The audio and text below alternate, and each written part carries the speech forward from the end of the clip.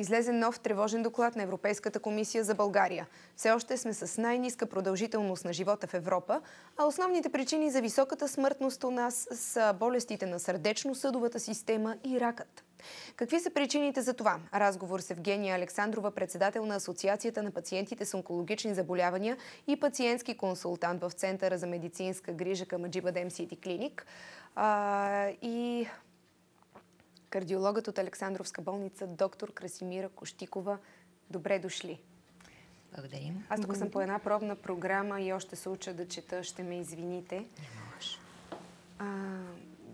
Тревожна ли е тази статистика специално свързана с двете най-смъртоносни у нас заболявания? Според вас онкологичните и сърдечно-съдовите това нещо извънредно ли е? Или по принцип такава е тенденцията и в другите европейски държави?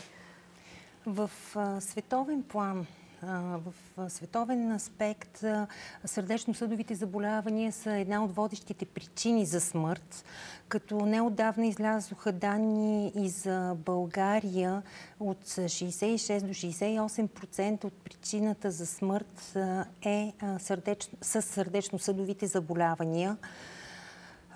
Медицината разполага с ясна представа за рисковите фактори, за има съвременни методи на лечение. И въпреки всичко, 17 милиона а, е, умират от сърдечно-съдови заболявания. Да.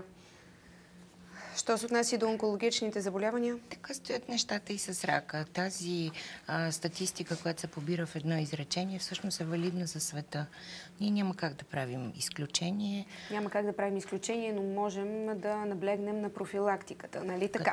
И може би това е нещо основно, което ни различава от други развити европейски страни. За това нашия репортер Гергана Найденова направи проучване. Доколко сме склонни често и стрикно да посещаваме профилактични прегледи на живо сега от кабинета на доктор Стевка Николаева, общо практикуващ лекар. Гери,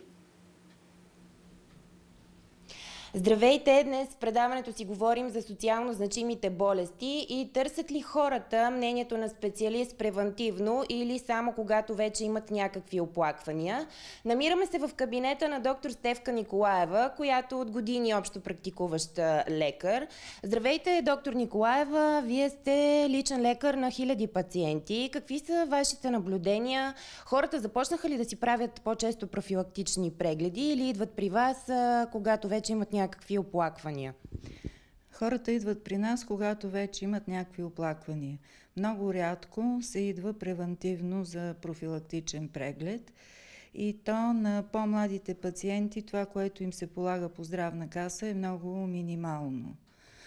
След определена възраст вече на жените се полага мамография, на мъжете туморен маркер за простата и така, но сравнително рядко идват превентивно.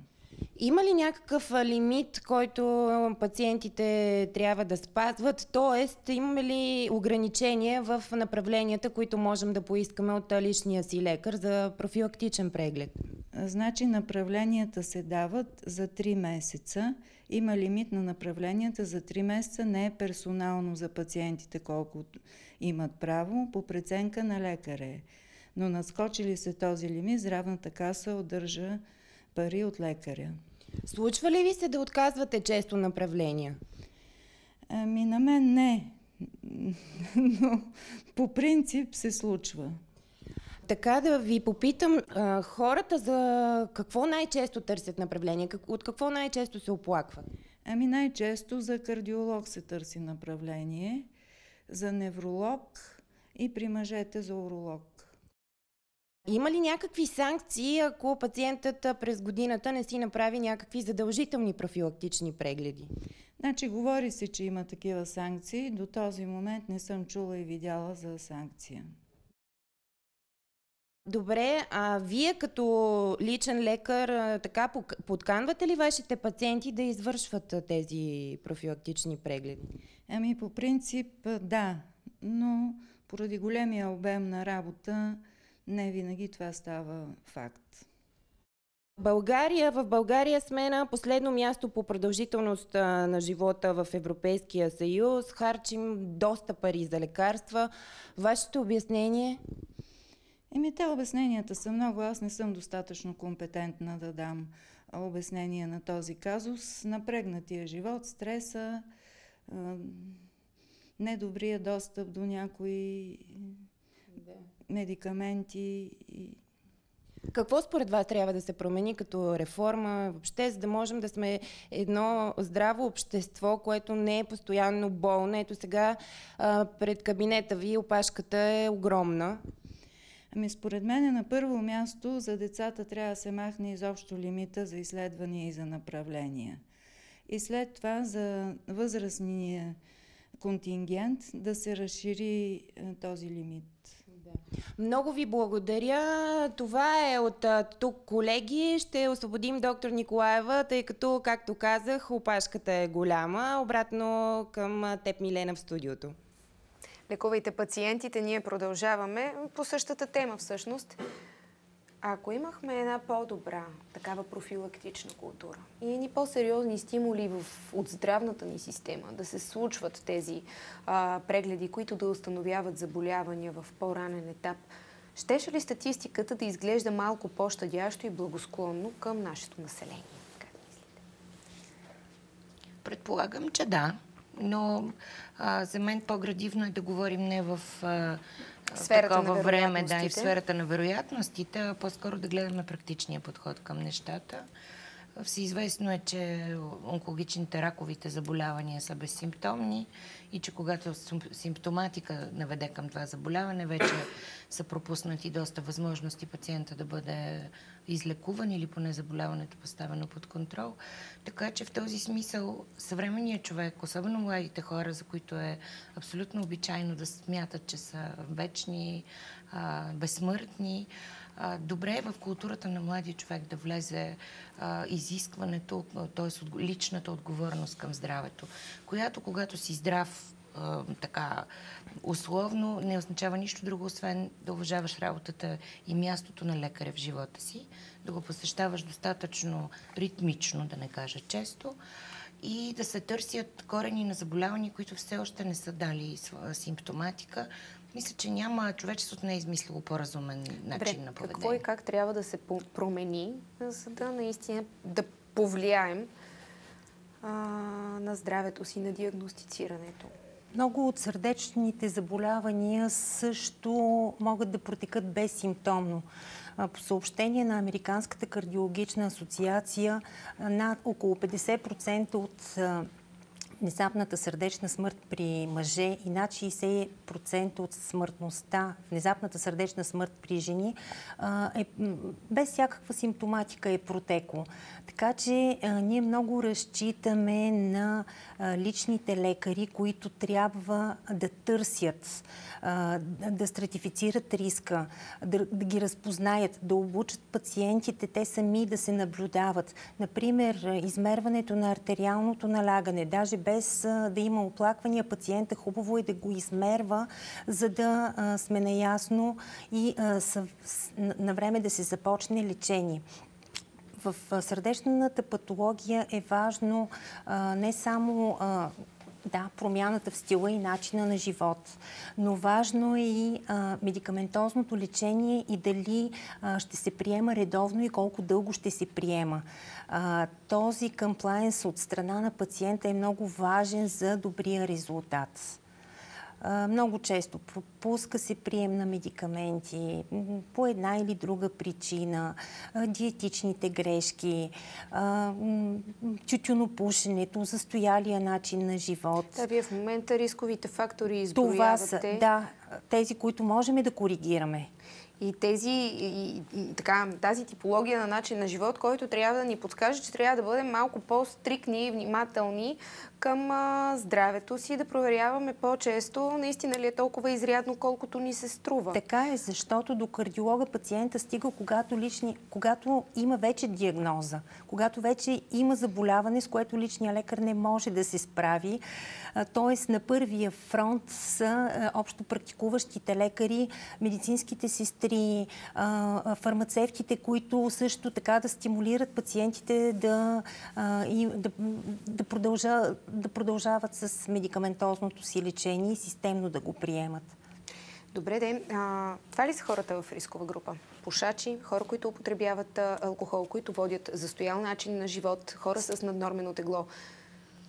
Всички тези, които изброихте, определено а, така са хора, които могат да бъдат поставени, възприяти като хора в риск. Но според мен 21 век всички сме в риск. Достатъчно рисков фактор е да живееш в 21 век. Живеем в условия, за които не сме подготвени, нито психологически, нито физически.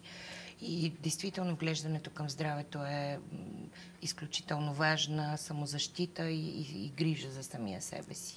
Скоро излезе един доклад на Американското раково общество, който а, вече се коментира. Става дума за това, че а, американците отчитат а, не само в Америка, и в световен мащаб увеличение на преживяемостта mm-hmm. при заболяванията от рак. Това има своето обяснение. Знаете колко иновации навлязаха в диагностиката, лечението, проследяването, но в същото време те алармират, че проблеми като затластяването продължават да поддържат определени а, локализации на рака, като рака на гърдата, рака на дебелото черво, които по принцип са най-масови.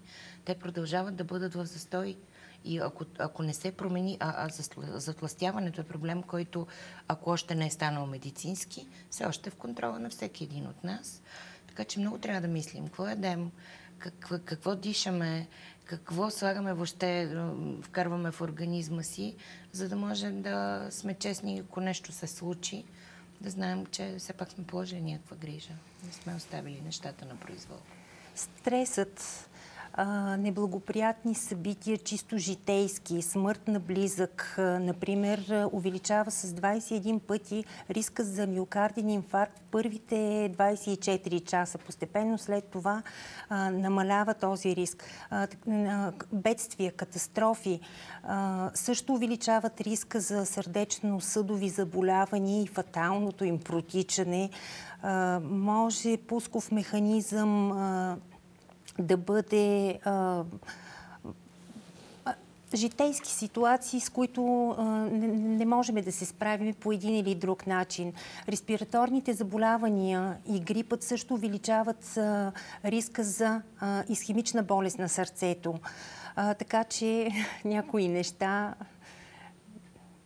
Кои са най-тежките диагнози, които касаят сърдечно-съдовата система и от които най-често изхода е фатален? Както, диагнози, състояния.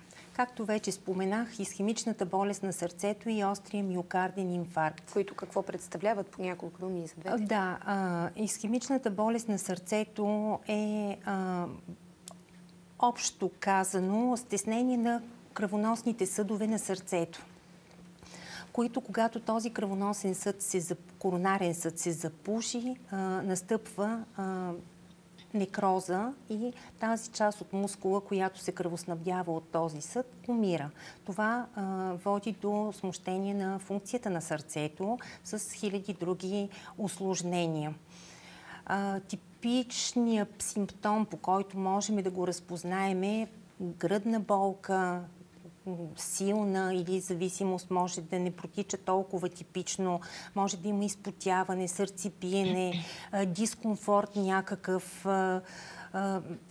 Но по-опасното е, когато тези симптоми а, не са толкова изявени и протичат по-тихо и по-дискретно и пациента ги игнорира. Да, изморен съм, а, отдава ги на други неща извън сърцето.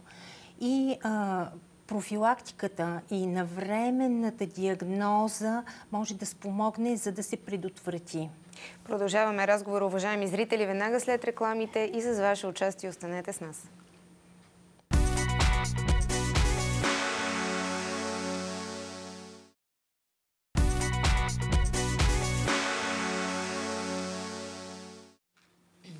За социално значимите заболявания си говорим и най-честите причини за смъртност у нас, които се оказват онко и сърдечно-съдовите заболявания. Телефоните за връзка с студиото са 08894803 08894805.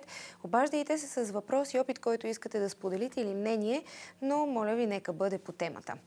А, сега, вие казахте, онкозаболяванията се, са характерни с това, че там няма симптоми. симптоми. И когато до един има... момент. Да. да.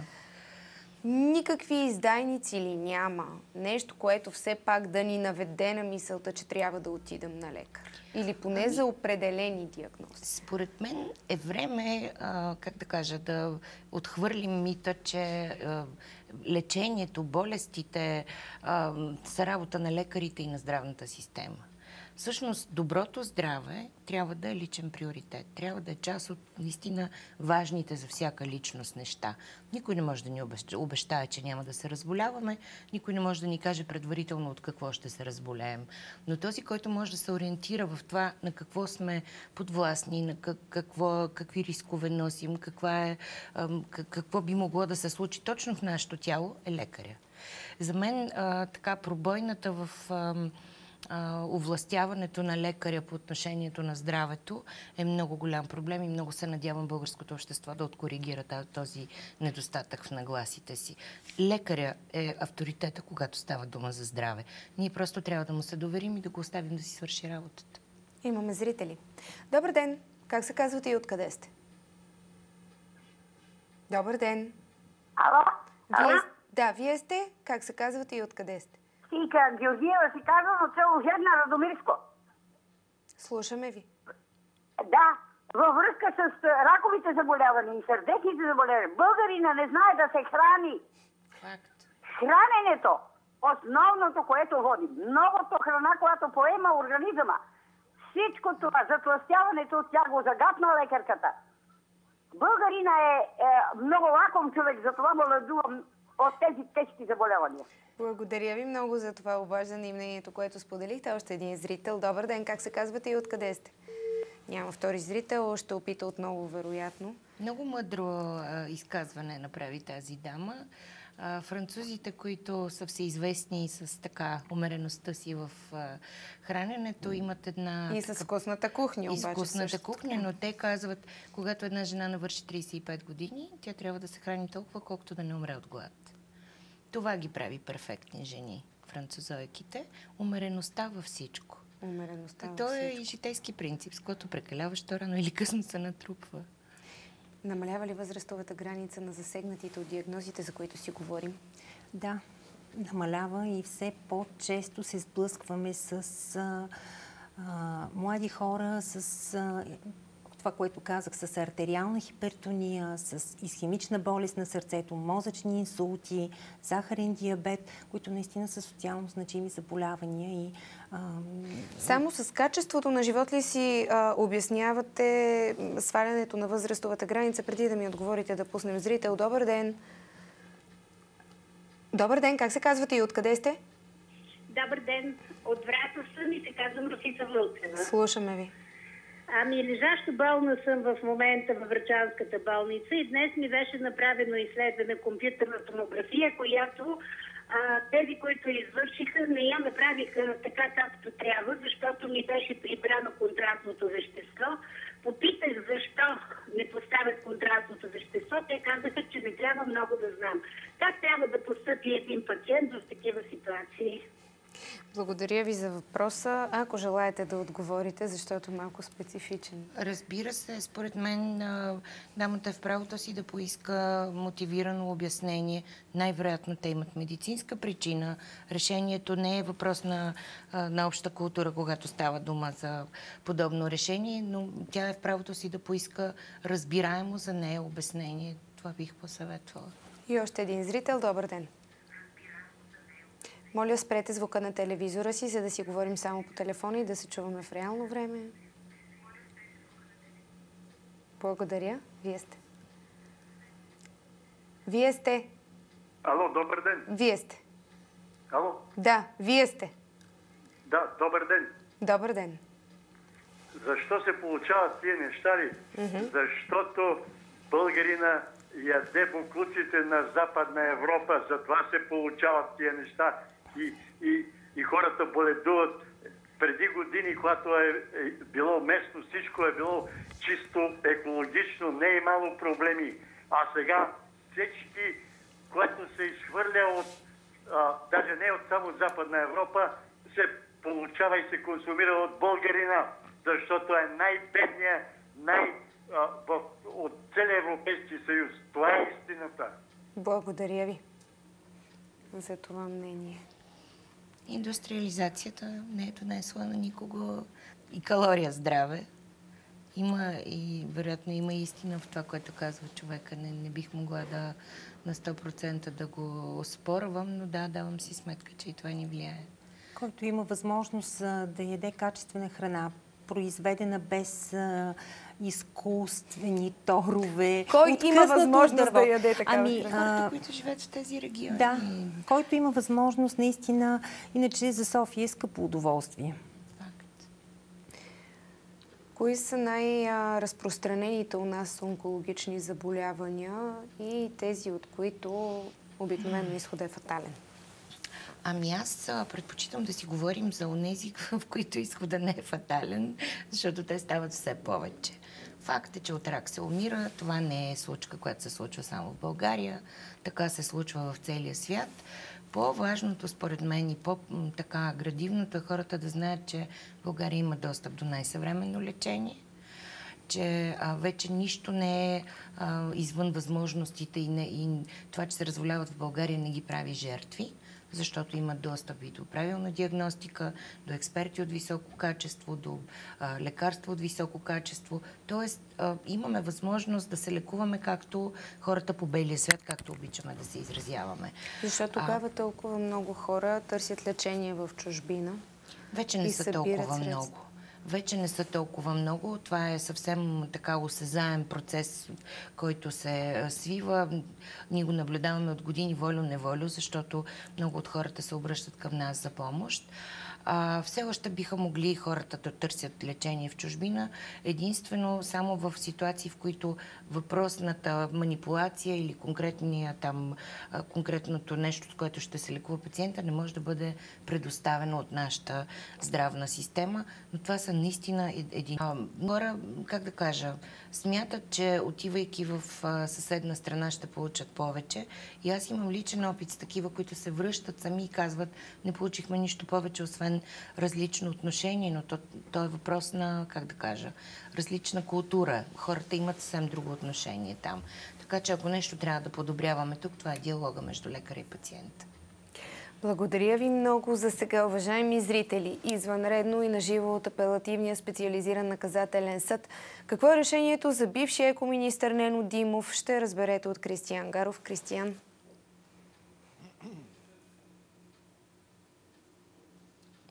Здравейте. Новина от буквално последните минути. Окончателно Нено Димов остава в ареста. Решението на магистратите дойде след близо петчасово заседание, което продължи тук в апелативния специализиран наказателен съд. В мотивите си те посочват, че на база свидетелските показания и събраните до този момент доказателства може да се счита, че Нено Димов е извършил престъплението, за което е обвинен, а именно умишлена безстопанственост относно язовир Студена довела до водната криза в града.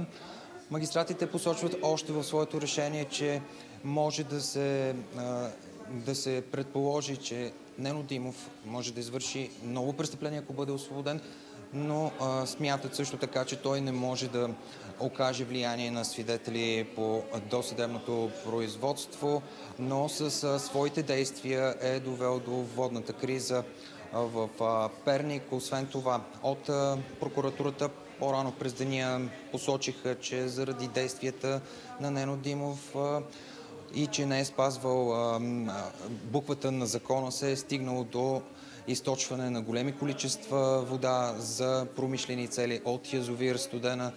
Близо 7 милиона кубични метра вода са били източени за промишлени дейности от страна на Стомана Перник и Топофикация Перник. От това е произлязла щета за държавата в размер на 12 милиона лева. Какво заявиха още и от прокуратурата, и от защитата?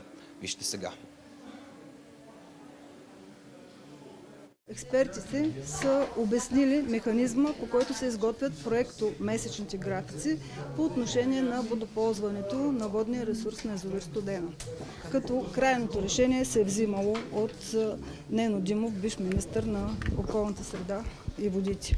По отношение на щетата, следва да се има предвид, че макар да има твърдение от страна на защитата, че реално водата, която е потребена за промишлени цели е платена. Да, тя е платена, но на стойност 1 кубичен метър 0,13 стотинки. Ако този воден ресурс не беше използван за промишлени цели, тази вода ще отиде за потребление на гражданите на град Перник, на които водата се продава на цена 2 лева. Нито една заявка не е за битови нужди не е ограничена заради промишлени. Цената не се определя от министъра. Това не е работа на министъра. Той управлява водите, не цените. Второ, това щета няма, защото предприятието има право да получи такава вода при положение, че има капацитет и да плати цената, която, на която се отпуска. Прокуратурата днес призна, че всичко това са нейни предположения, за които те първа ще назначава експертизи, което значи, че не може да има обосновано предположение за извършено престъпление, защото няма факти по делото, които да го установяват. И така, до този момент прокуратурата е забрала близо 60 тома доказателства за водната криза в Перник. Ако бъде доказана вината на екс-министъра Нено Димов, той може да получи наказание лишаване от свобода от 2 до 8 години затвор, а днешното определение е окончателно и не подлежи на обжалване. Благодаря ти, Кристиян. Уважаеми зрители, това беше репортерът ни Кристиян Гаров от апелативния специализиран наказателен съд за решението за бившия екоминистър Нено Димов. Ние продължаваме в студиото ни темата за някои от най-страшните диагнози, които причиняват високата смъртност у нас, а именно онкологичните и сърдечно-съдовите заболявания. Телефоните за връзка с студиото в случай, че имате въпроси по тази тема са 0889 и 0889 заболявания, които протичат безсимптомно, всъщност те може би са най-страшните. Наистина те са най-страшните и а, ако пациента успява да разпознае макар и дискретни симптоми, mm-hmm. примерно при една артериална хипертония, главоболие, дискомфорт, лесна уморяемост, раздразнителност, зачервяване, добре е да измери артериалното си налягане. По отношение на изхемичната болест на сърцето и миокарния инфаркт, който може безсимптомно да протече при пациенти с захарен диабет, например, да. а пък и не винаги протича по типичния начин, който ви описах с гръдната болка и а, останалите симптоми. Добре е да се вземат превентивни мерки. И пациенти с анафамилна обремененост за по-ранна смърт в семейството, мъже след 40 годишна възраст, жени след 55 годишна възраст, които имат няколко рискови фактора, може да се изследват, да изследват съдовете на сърцето си. И в нашата болница, в Александровска болница, правиме изследване неинвазивна оценка на коронарните съдове с скенер пациентите с нисък и умерен риск можем да ги изследваме по този начин и от това, вече от резултата, да знаем в каква посока пациента да поеме. Това е много хубаво наистина и важна информация за нашите зрители. Имаме такива на телефона. Добър ден! Как се казвате и откъде сте? Ало, добър ден! Добър ден! Уважавам ви се от брат, казвам се господин Тодоров. Питането ми е следното. Имам изхемична болест на сърцето от 2015. Имам 4 байпаса на сърцето. Това нормално е сега да се запушат байпасите и в момента ми подлежи отпушване на байпасите и слагане на стент. Сега ще отговорим на този въпрос, само да чуем още един зрител. Добър ден, как се казвате и откъде сте? Добър ден, казвам се Данаил от Тутърканас. Вие сте.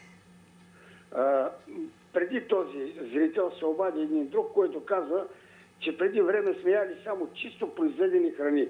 Искам да му напомня на този другар, че преди време ние не можехме изобщо да ги намерим тия храни.